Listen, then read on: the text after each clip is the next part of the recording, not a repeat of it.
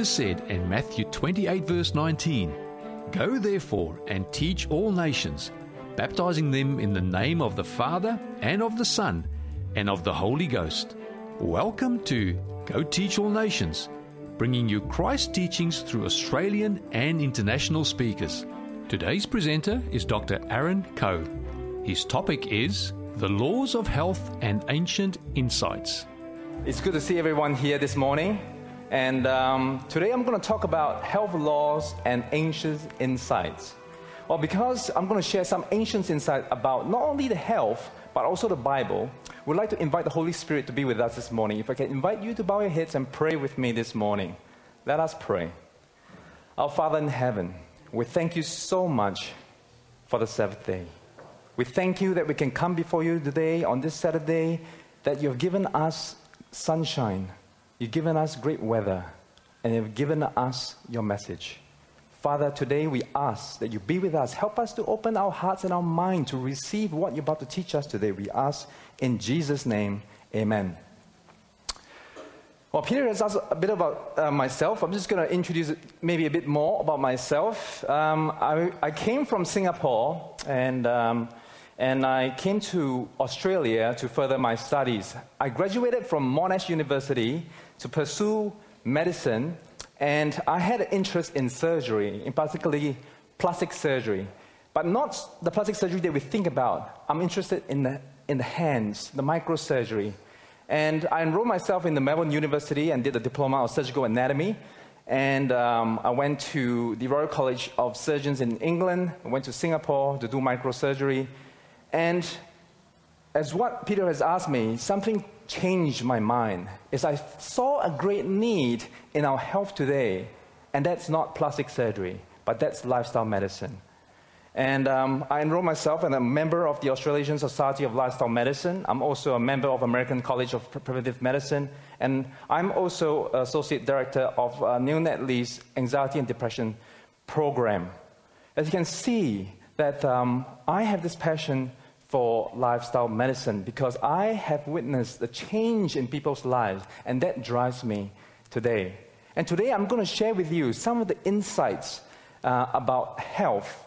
But it's good that we are in Melbourne today because, you know, Melbourne for seven years straight was named the most livable city in the world. But this year in 2008, we lost it. We lost it. Why did we lose it? Well, in order to obtain the most livable city in the world, the Global Livable Index look at a few things. They look at the culture, they look at the education, they look at the environment, they look at the infrastructure of the city itself, and they look at crime and look at terrorism, and as well as healthcare. While Vienna was the most livable city in 2018, and they Mel- Vienna and Melbourne topped the points for healthcare, but they lost. Melbourne lost because of one thing it was the improved stability. Perhaps if we stop changing prime ministers, we may be the first livable city in the world. Well, we have one of the best healthcares in Australia, in Melbourne. We have more than 200 hospital outpatients and inpatients across regional Victoria, and we have excellent follow-up outpatient services. So we are indeed very blessed with healthcare system in Melbourne. And in fact, one of the pioneering thing that we can actually say about Melbourne is that we have one thing unique. We have a world-class pioneering stroke unit. It's only one of three countries that we have a mobile stroke response unit in Australia. Stroke is a devastating disease it affects a lot of people. There's two kinds of stroke. One of them is a bleeding stroke, but 80% of people who suffer from stroke results from a clot that comes either from the heart or from the carotid arteries. And we know in stroke, time is brain tissue. And the mobile stroke unit of Royal Melbourne Hospital says with a stroke, every minute counts. And the best way to treat patients faster is to bring the hospital to the patient. Now, how are they going to do that? Well, we have the mobile stroke unit. What you see here is the inside of a specialized ambulance It's fully equipped, custom, custom built specialist ambulance Victoria that comes with a CT scan. It allows the imaging of the brain before the patient actually reach the hospital itself. And the team basically consists of two paramedics, one neurologist, one stroke nurse specialist, as well as a radiographer. And what it aims to do is when someone calls and that someone has a stroke, they will dispatch the mobile unit to the house, transport the patient into the ambulance, and they will start doing the scan there. And they find that the patient has a, has a stroke, they'll administer medication to try and dissolve the, clot, the, stroke, the, the clot in the brain and transfer the patient as quickly as possible to the hospital. Every 10 minutes, there's someone who suffers from a stroke. $5 billion has been invested in Australian healthcare for stroke. 6.1 million people suffers from high cholesterol. And do you know that one in two Australians suffer from chronic diseases? And while it's heroic to have a mobile stroke unit, and I do not doubt that it saves lives because my wife works in the stroke unit and he, she saw it firsthand, the people that has been saved and the outcome has been great. But the question is, in my mind, is how do we get to the people before they have the stroke? And that is the question that we're trying to solve today. Well, we have much to learn about ancient Egypt. And um, in the times where, in its time, its medical knowledge is profound. It was at that time where it was the forefront of, of medicine. And what they have discovered in, the, in Egypt, not too long ago, they found the papyrus, the Ebers papyrus, among other papyrus. And they date it to about 1,500 BC. And that's about three and a half thousand years ago. And what they discovered was fairly amazing. That they found that they were at the forefront of, of, of their time in terms of different specialties of surgery, pharmacology, obstetrics, and among other things, Hippocrates, also named the father of medicine, and he, he himself was educated in Egypt, as well as Galen as well. And they found that the Bible tells us about Egypt's medical practice in, the book of Jeremiah as well. Egyptian medical practice contains many fields that I've talked about. And um, they were the forefront, they were able to do a lot of things that other countries could, were not able to do. What can we learn from them? Dr. Dr. Rosalie David, she's uh, one of the pioneers of Egyptology in studying mummy. In fact, she received the OBE award, the Order of the British Empire, for the research that she has done. And she was from Man- Manchester University, and she has studied mummies. And what she has found was quite profound. Despite the fact that the Egyptians have innovative medical practices, but they suffer from diseases as well. And the diet that they had, what Dr. Rosalie David found, was that they consume a high animal fat diet, highly processed food, high sugar, high salt, and alcohol. Does that sound familiar? Absolutely. And what they discovered as well that Ramses II of Egypt died of a massive heart attack. Heart disease. These, these were the diseases that existed in ancient Egypt. Heart disease, cancer, arthritis, obesity, high blood pressure, rheumatism, and sexually transmitted diseases as well. Are these the diseases that we see today? Yes. In the time of Exodus, was a time of slavery of God's people in Egypt. They were subjected to physical torture, mental torture, under the physical rule and the iron fist of the Pharaoh and the Egyptians. And then these people, they were worshiping idols, they were eating what they want, and God's law were deemed obsolete. And they were subjected under the iron fist of the Pharaoh, but God was to do something. God chose one man, and his name is Moses, to deliver God's people out of Egypt. You know, there was been many arguments whether the ten plagues ever existed. There was a lot of debate that was going on that whether Moses did part of the Red Sea and whether there was a lot of the, the plagues actually existed. But there was a, a, a, pioneering study in 2010, and it was this professor, Augusto Magini, he's the paleoclimatologist at Heidelberg University, and they concluded in 2010 that they found evidence of real natural disaster on which the 10 plagues of Egypt were based proving that the Bible, what Bible said was true. When God brought his people out of Egypt into the wilderness, God did three things. He gave, he constituted the law for his people. Why did he do that? Because when, we, when, when the people were in Egypt, they were brainwashed. They were in the culture. They were suffering, both physically, mentally, emotionally, and spiritually. But God brought them out of Egypt and He instituted the laws.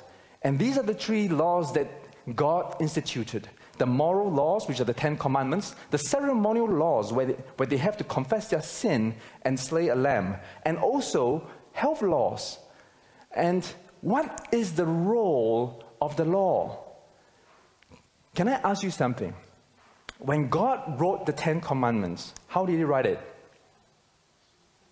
With His finger.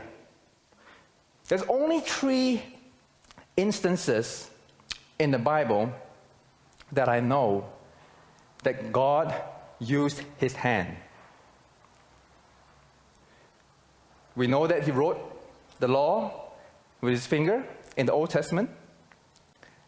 Let's track back to Genesis. Let's go back before Exodus, way to Genesis. The Bible says, if you have the Bible, turn with me to Genesis chapter 1, verse 1. Genesis chapter 1 and verse 1. What did the Bible say? In the beginning, God created the heavens and the earth. The earth was without form and void, and darkness was on the face of the deep. And the Spirit of God was hovering over the face of the waters. Now pay attention to this in verse 3. Then God said, Let there be light. And there was light. God spoke, and there was light. How many days did God created the heavens and the, the our earth? In six days. And he rested on the seventh day. He spoke and he was created. He spoke and the sea was created. He spoke and the birds were created. He spoke and the fishes were created. When it came to the sixth day, he spoke and the animals were created. But when he created Adam, he fashioned him with his hands. He fashioned him with his hands. He wrote the law with his finger. So God deemed us so important that he fashioned us in his hand. He could have spoke, but he used his hands. The law is the knowledge of sin, is the measuring stick. You know, in today's, we are so immersed in our culture with Instagram and Facebook and different kinds of social media, and sometimes we use that as a measuring stick. But God is calling us and tell us there's a measuring stick that God calls to us. That is His law. Because by His law, we know whether we have sinned. The law reveals our need for our Savior, for God. But if you do with, away the law, there's no sin. That means you, can't, you can do anything you want. But that's not what it is. And God taught the Egypt the, the people of the Egyptians that God has brought up Egypt that there is something called the law. And says, I would not have known sin except through the law. And Paul know, knows that when he wrote in Romans chapter 7, verse 7. There was another law, which was the ceremonial laws. What was the ceremonial laws? If you know that you have sinned, and God says that because of you had transgressed against me and you have sinned, God gave a solution. In Romans says, For the wages of sin is death. But God is not going to kill his people. He gave them away by this, by putting the hand onto a lamb, confessing your sin, and transferring sin to the lamb, and you are forgiven. And we know now that Jesus was the lamb, and the ceremonial laws has been done away. And the health laws, what's the purpose of the health law? The people the, God's people in Egypt has been indulged with, with all kinds of food that the Egyptians and the Pharaoh indulged, and God was, so, God was set his people straight for three reasons to preserve their lives, to prevent diseases, and to have their life living more abundantly. In the early 1940s, there was a Hungarian physician by the name of Dr. Ignaz Semmelweis. He was working in a Vienna General Hospital and general, in that general hospital, there, he was working in the obstetrics ward. And there was a lot of women delivering babies, were having babies, and there were a lot of doctors helping out in delivering the babies. But there was a problem. Out of every six women who delivered baby, one would die. One would die. Every one in six. And Dr. Ignaz Semmelweis was scratching his head and said, Why are these women dying? And he took him three years because what will happen is that when they give birth, and the women will fall sick, they'll have fever for several days, and then they will die. And the doctors will bring the women into the, into the morgue and they'll perform autopsy on these women. And after performing the autopsy of the women, the doctors would then go into the obstetrics ward and deliver the babies. And he saw that pattern and what he did was he told the doctors, let's do something. And it was radical at that time. It was not radical today because it, it, doesn't, it makes sense to us that we're supposed to wash our hands. But for them, it was radical. He says that you, you, because you're going to the morgue, you bring the diseases back to the women. And he told the doctors to wash their hands, and the result was astounding. The mortality plummeted, and more women were saved. And that was renowned. But he was kicked out of the hospital because they thought that his way of doing things was radical. Because at that time, they did not, they, they have no theories on viruses or bacteria. Because anything that you cannot see, they did not believe in it. But now we know through medical advances that viruses and bacteria exist. And through as simple as washing your hands can save lives. If you, those people who work in the medical profession, um, in the hospitals in Victoria, we have an infection control team, they're nurses, and they'll come to you telling doctors off who do not wash their hands from transferring from patient to patient. And simple as washing hands alone can save lives, even till today. But where did that come from? It came from God three and a half thousand years before, before we even knew it, God knew that viruses and bacteria existed. And if the people in Vienna Hospital in the 1840s would have known that and read the Bible, they would have saved a lot of lives. The Bible tells us about saving lives. Let me bring you back to the middle of 14th century. There was a plague that went across all of Europe, from England to Germany to Hungary, wiping out one third of the population in Europe. At least 150 million people died. People were dying like plagues and it was spreading like wildfire, and they had to carry dead bodies and burying them because they, those people who carried the bodies, they themselves got infected and they died. There was one pastor that realized that he needed to do something. He needed to separate the healthy and the people who are sick. And by doing that, a lot of people were saved. And where did he get the idea from? Quarantine concept. Again, from the Bible. When God brought his people out of Egypt, there were people who were suffering from leprosy, and God says, Those who suffer leprosy, stay out of the camp. If we knew about quarantine during the time of the plague, would millions of lives would be saved? And I believe so. God gives us the law of clean and unclean food, and the laws about fat and blood that were not to be eaten. Let's explore a bit further. Deuteronomy chapter 14, verse 6 and 8. God says, Also the swine is unclean for you because it has cloven hooves, yet it does not chew the cud. And you shall not eat their flesh or touch their dead carcasses because the disease can jump.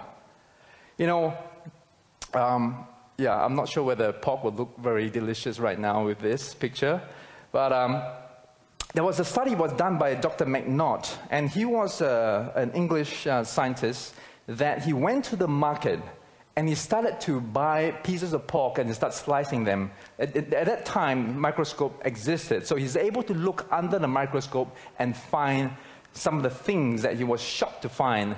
And he, he started to find that one in every four pork specimens had living trichina larvae in it.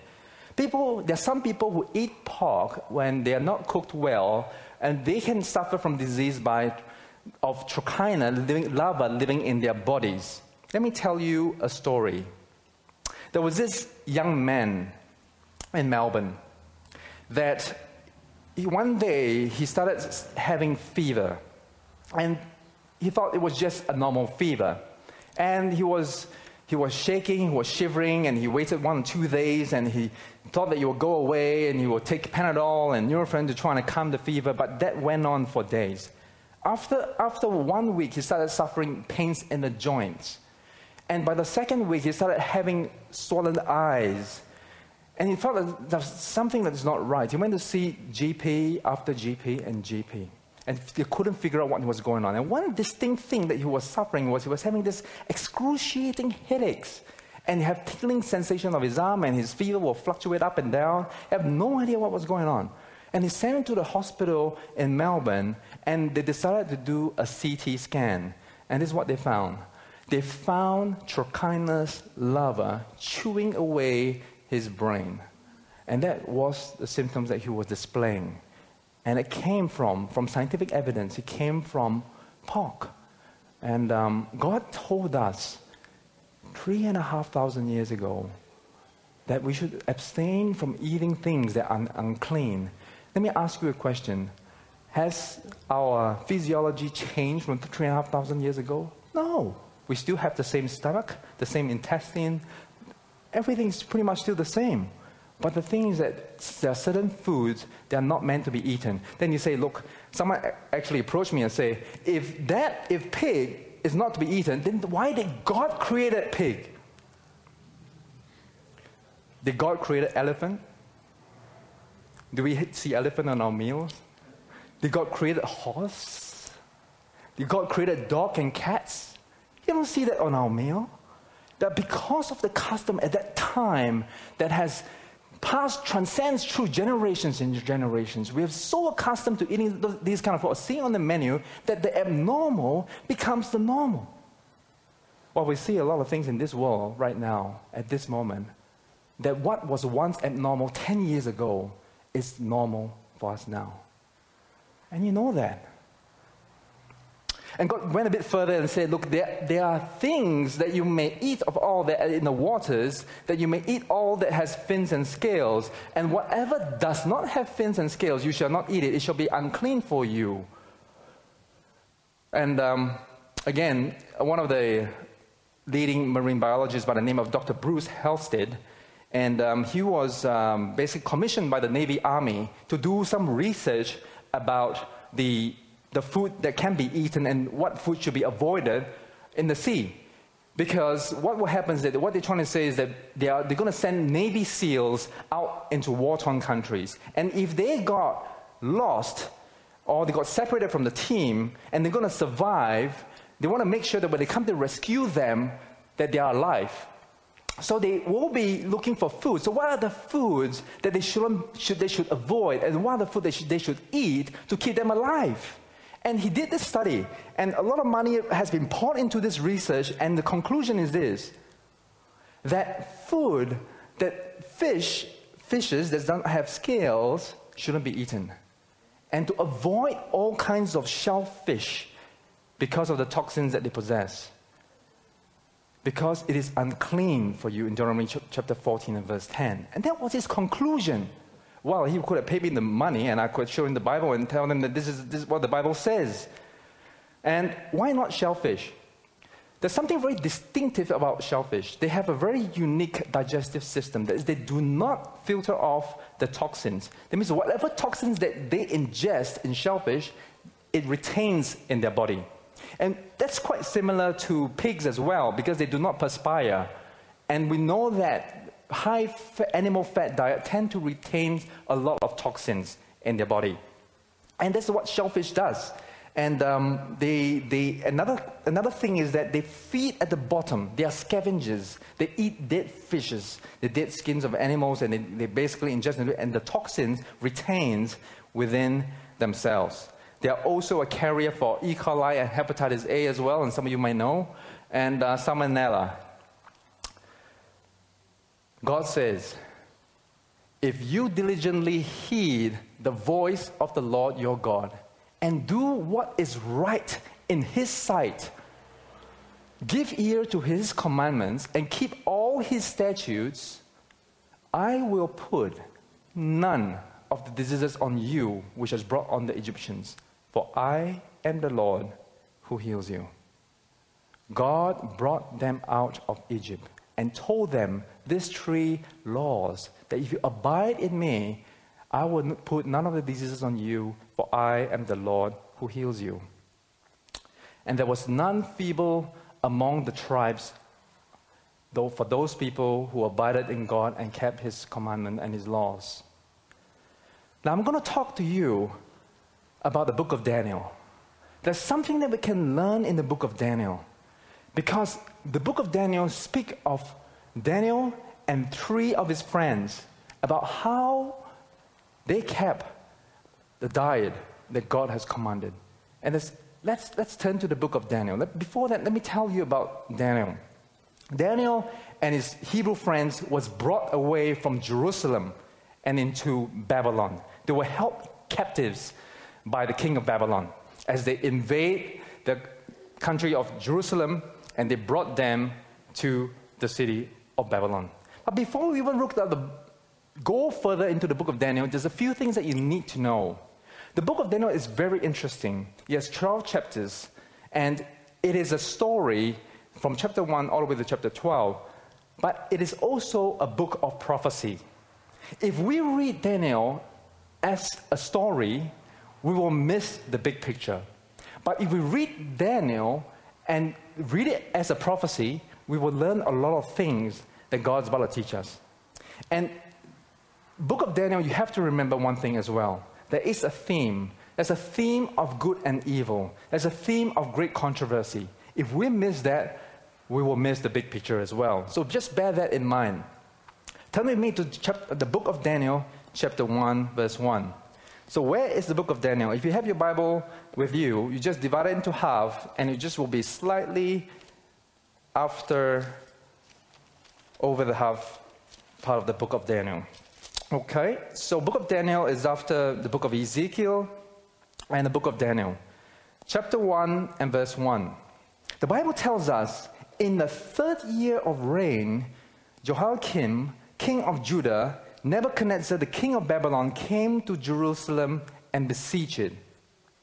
So it tells us in the third year of reign of king of Judah, the king of Babylon's name is Nebuchadnezzar, and he came to Jerusalem and besieged it.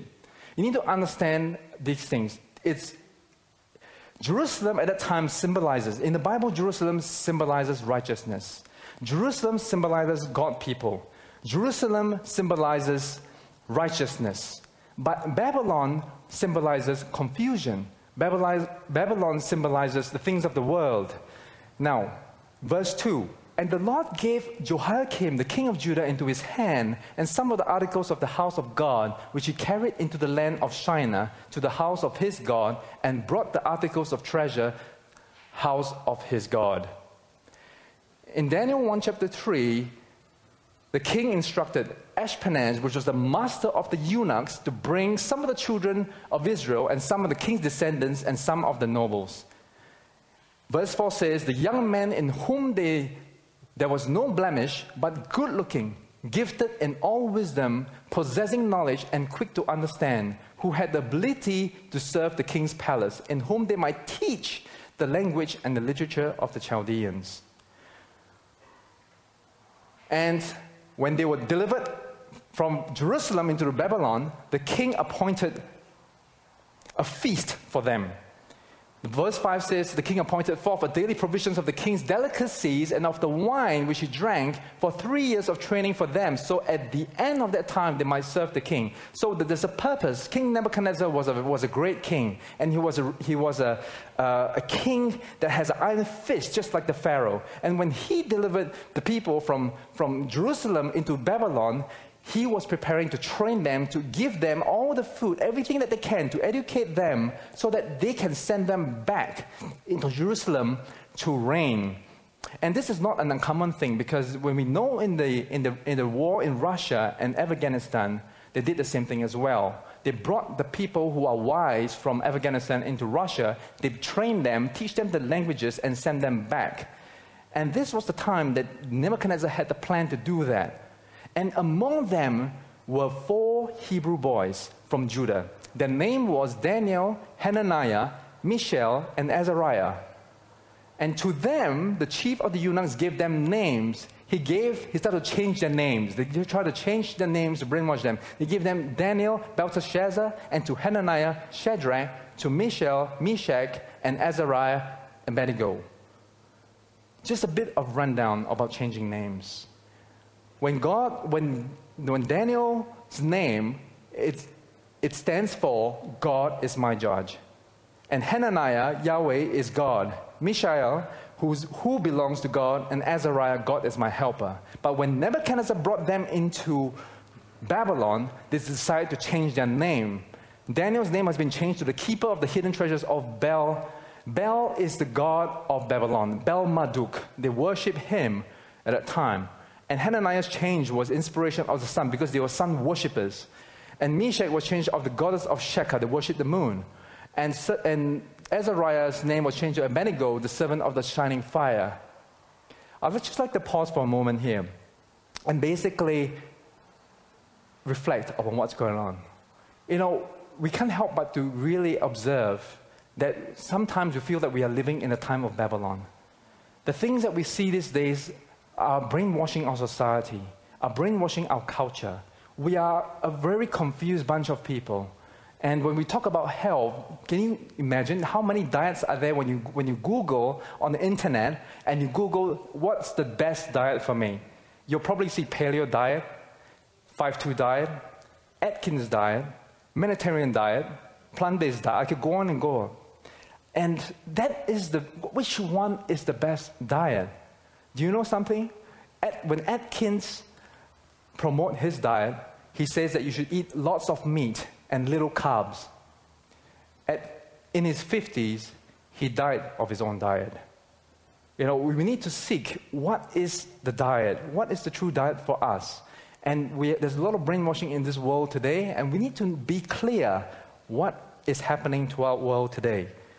And um, in Daniel chapter 1, verse 8, they were given the diet of the king, they're given the wine that the king drank. But Daniel did something. He purposed in his heart that he would not defile himself from the portion of the king's delicacy, nor the wine which he drank.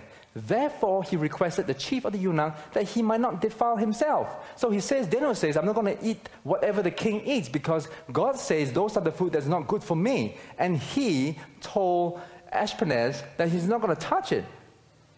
And now God has brought Daniel into the favor and goodwill of the chief of eunuchs. We see that he purposed in his heart.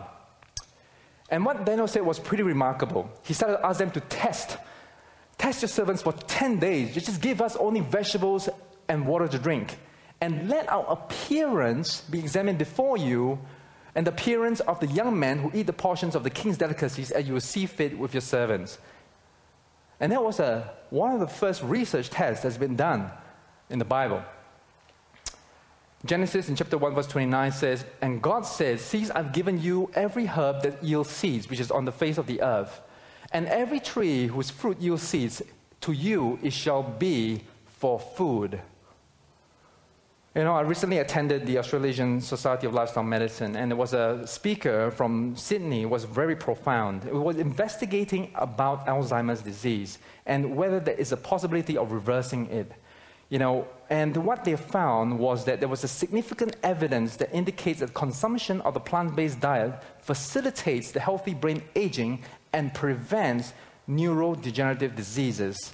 You know, food can be divided right smack down into half food that causes inflammation and food that doesn't. And what we know that food that causes inflammation are the food of the diet of the Egyptians. That food that doesn't cause inflammation is what the Bible says, mainly the plant-based diet. And this was quite profound. And a lot of people who were there was very awestruck about, about this. It sounds simple, but a lot of research has been channeled into this to come with this conclusion.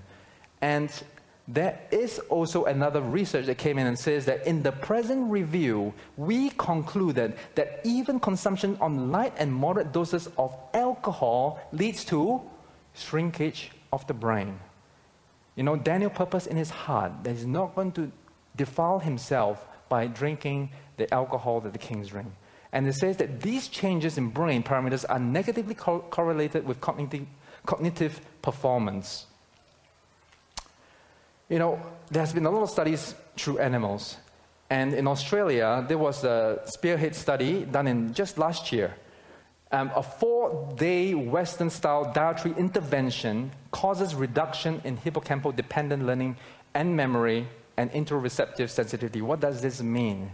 So, what they did was they took a bunch of people and they put them onto a diet, a Western diet, and they start to assess them in their cognitive behavior. They start to assess their hippocampus. It's part of a limbic system deep seated in our brain that has uh, got to do with long term memory.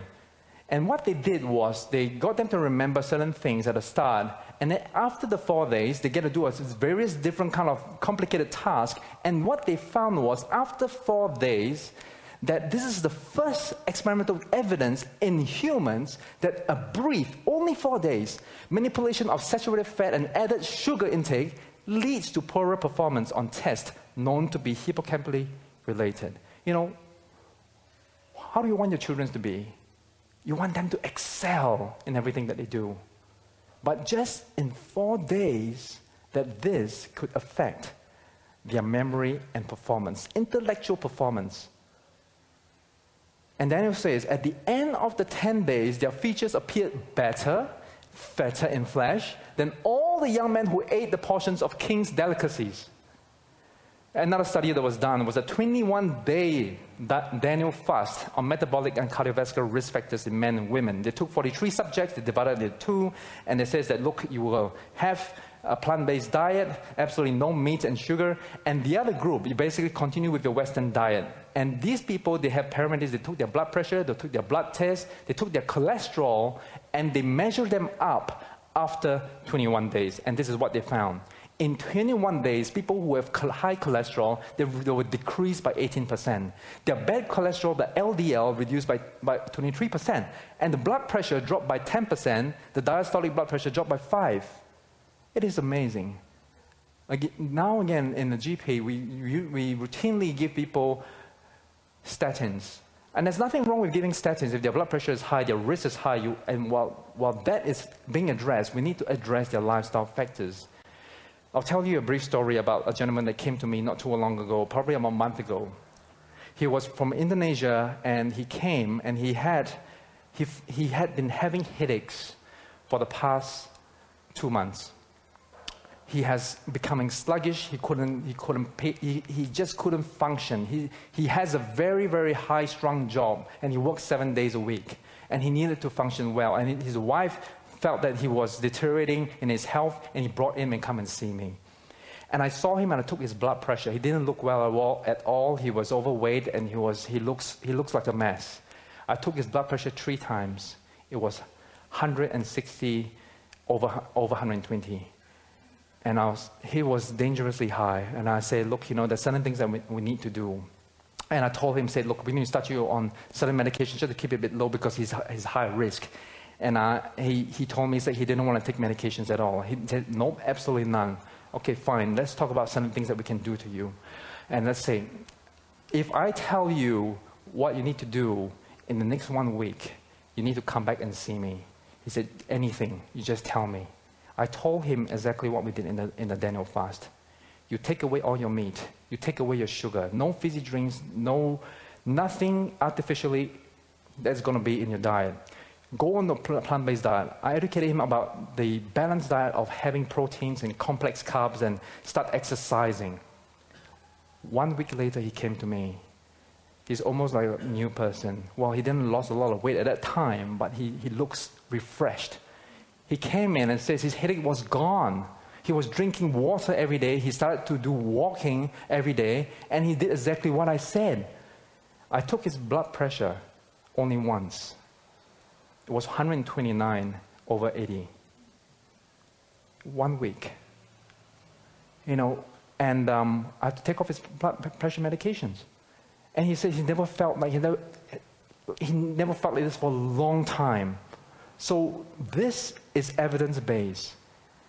And God knows that what is good for us. And the book of Daniel tells us, as these four young men, God gave them the knowledge and skill in all literature and wisdom, and Daniel had understanding in all vision and dreams.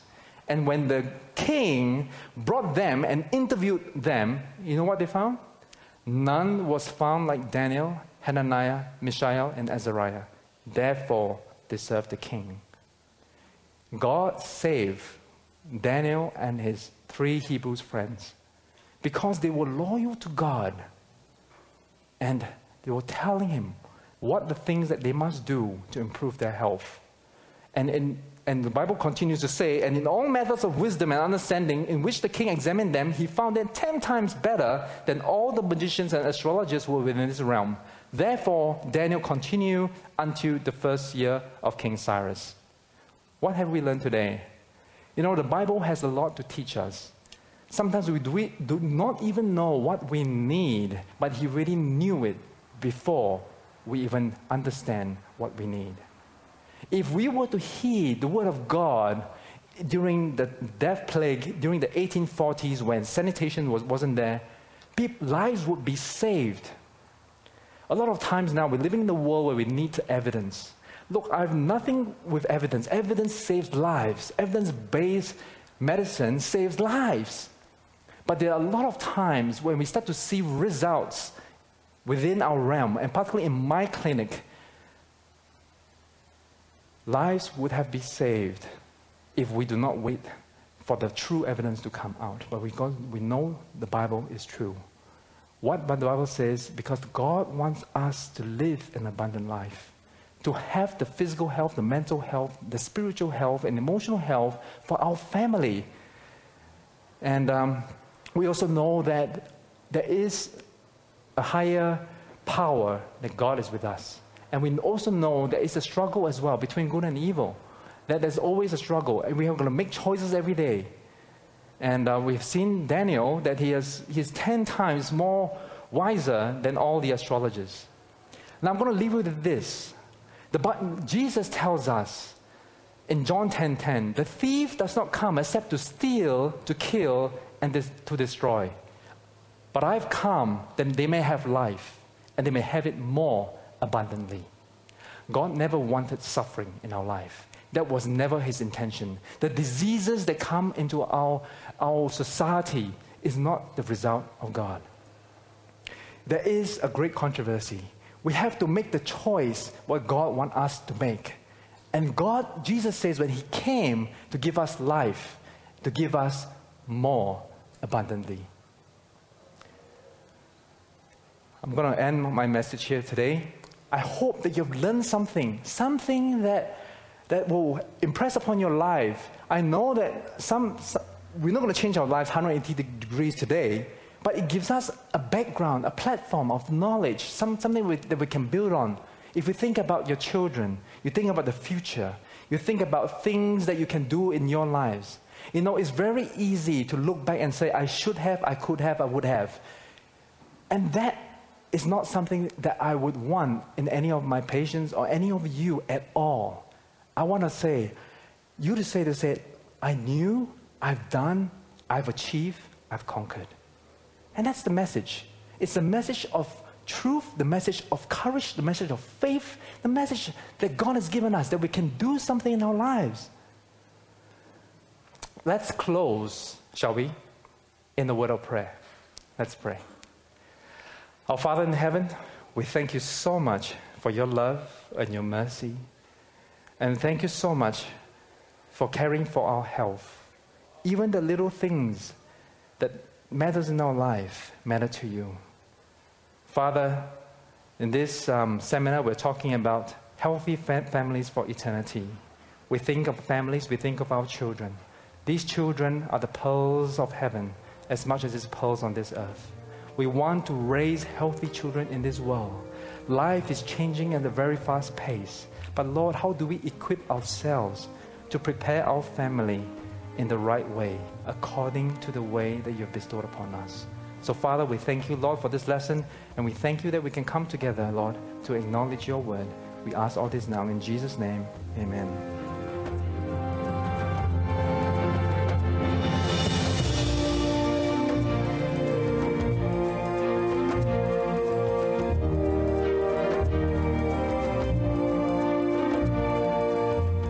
This message was made available from Beyond Patmos. For more resources like this, visit beyondpatmos.org.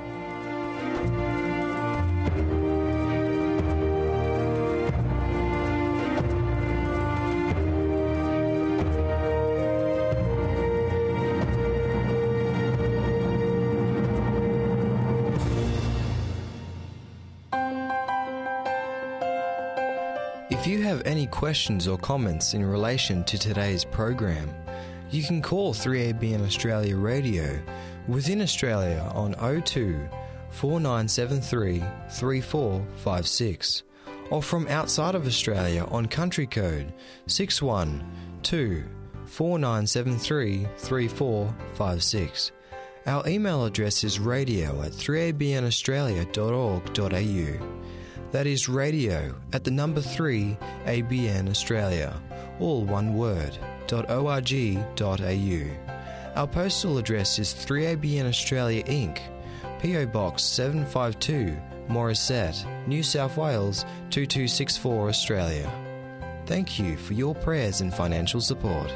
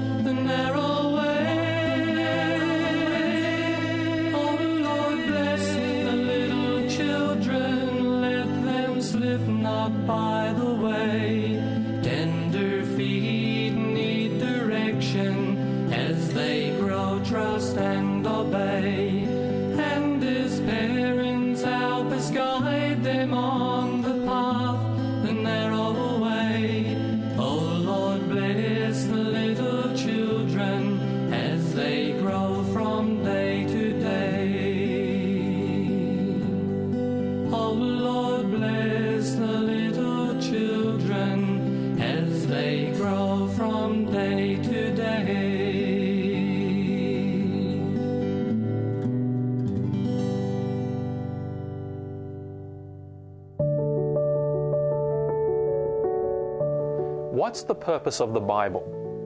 Some will be quick to say, it's God's word for us. And while that's a good answer, that's not really the purpose of the Bible. To answer this question, let's look at how the Bible explains it.